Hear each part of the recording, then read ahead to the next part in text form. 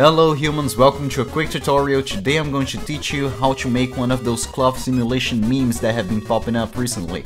The only software that we're going to use for this tutorial is Blender, so make sure that you have that installed on your computer. You can see it on the Steam page or you can download it through the link in the description. So let's start. Step 1. Delete everything. Step 2. Put the thing that will be covered by the cloth. If it is a file that you already have, come to File, Import, and whatever is the format that you have your file saved in.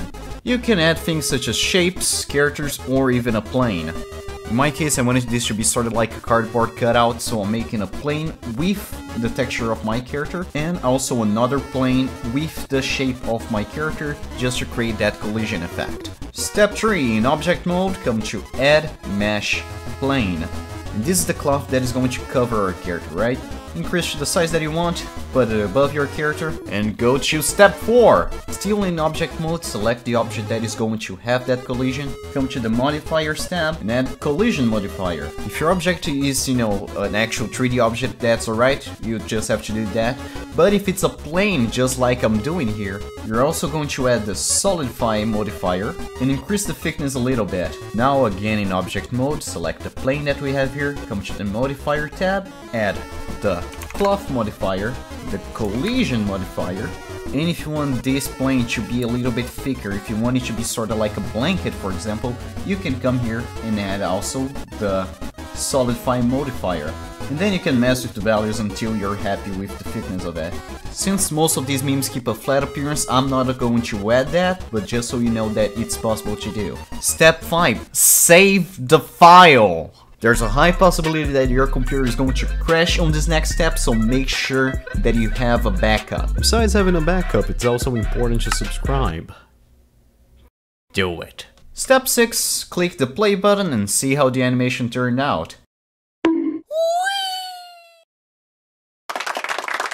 If you don't like how the collision turned out here, you can click on the object, go to the collision tab, click on this little thing that I have no idea what it's supposed to look like.